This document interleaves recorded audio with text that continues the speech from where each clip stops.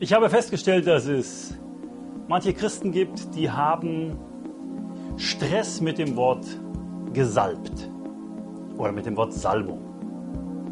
Sie können damit nicht richtig etwas anfangen. Es kommt ihnen sehr äh, mysteriös vor und es wird ihnen mulmig, wenn einer davon spricht, dass irgendetwas besonders gesalbt ist oder ein gesalbter Mann Gottes äh, irgendetwas tut und so weiter. Ihnen kommt das sehr sonderbar vor und sie hinterfragen das und es ist schon fast ein K.O.-Kriterium für sie.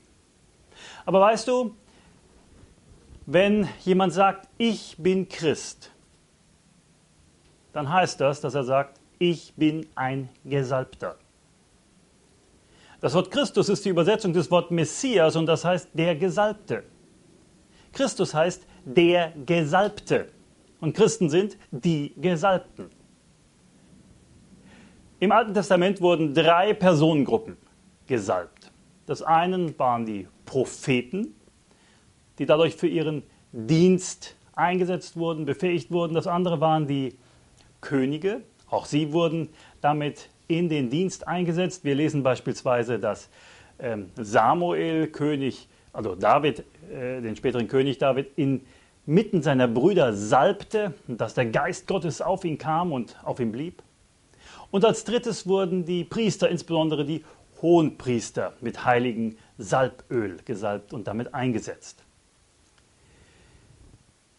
Jesus sagt in Lukas, und er knüpft da an eine Aussage von Jesaja an, die wir bei Jesaja 61 finden: Der Geist des Herrn ist auf mir, weil er mich gesalbt hat, Armen gute Botschaft zu verkündigen er hat mich gesandt, Gefangenen Freiheit auszurufen und Blinden, dass sie wieder sehen. Zerschlagene in Freiheit hinzusenden, auszurufen ein angenehmes Ja des Herrn. Weißt du, das ist es, weshalb Jesus gekommen ist. Das ist seine Dienstbeschreibung, seine Job Description. Und das ist genau das, was für uns als seine Nachfolger genauso gilt. Dazu hat uns Gott gesalbt. Wir lesen beispielsweise, der uns aber gesalbt hat, ist Gott.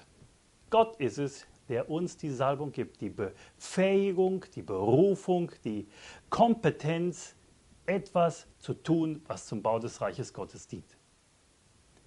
Ich lade dich ein, dich damit zu beschäftigen, was das Wort Salbung für eine Bedeutung hat. In der Bibel ein wenig zu forschen. Und du wirst sehen, dass es ein sehr guter Begriff ist. Ein Begriff, der wert ist, dass die Christenheit sich danach benennt. Ich glaube, Gott hat viel mehr für dich.